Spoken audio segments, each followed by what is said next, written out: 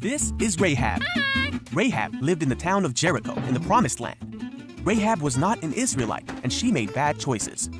But God had a plan for Rahab, even though she was a sinner. Ah, now God told his people, the Israelites, Hey, to go into the Promised Land. So Joshua sent two spies to search the land around the city of Jericho.